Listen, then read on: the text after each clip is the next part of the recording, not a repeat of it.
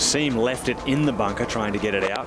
Oh, oh Second shot, not able to advance the ball, so disastrous. that's why it's voted the hardest resort course in America. But as you can see, distressed to say the least. Well, there's barely enough room in this bunker for Phil to fit. Oh. Getting cute. Now, there's something you don't see very often, Nick, is Phil Mickelson leaving one in the bunker. And take a look at the agony of gentleman who was caught in the pothole at 14.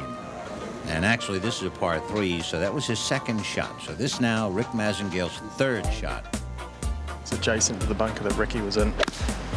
And that was the risk that he ran.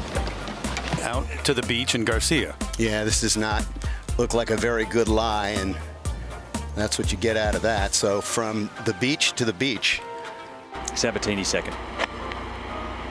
Well, he took a good look at what he had to do to get the ball over the face of that bunker, over the front lip. When you can't take it any longer, why, we'll understand if you leave. Fourth shot. The wind's turned round, so 12 is playing completely different, and got a feeling that's. Will it grow some claws? No. Hmm.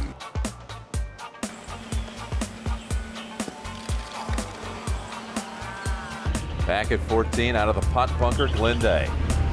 How about that uh, execution, Peter? Slow down. What about it? I tell you what, this Slow was down. an Cool. incredibly difficult shot. And you're too old to laugh or cry, but he took the laugh. Back to the front, and now, oh no. Boy, I tell you what.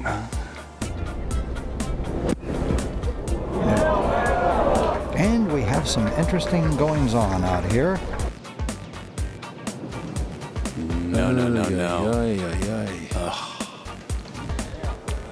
Well, careful, careful. That's Billy Ray Brown.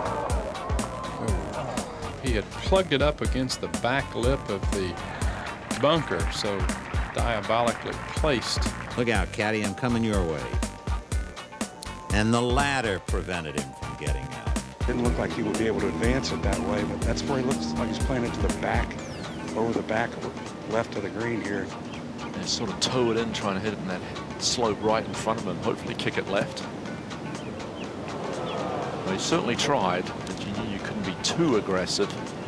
This ain't gonna be easy, Peter. No. Oh, he shanked it. Oh. Shanked it into the hazard. Huh. Yeah, that wasn't easy. well, that's nice. Your opponent's there. Whoa. Say, ah, it crossed here, mate. yeah. Once more into the breach. Huzzah, I cried, and now look out water. Ah. 17. A disaster for Langer. Noted as one of the best bunker players in the world. He didn't swing through on it, Bobby. What was that? He's usually more aggressive through the ball. I think he just caught it plain fat there.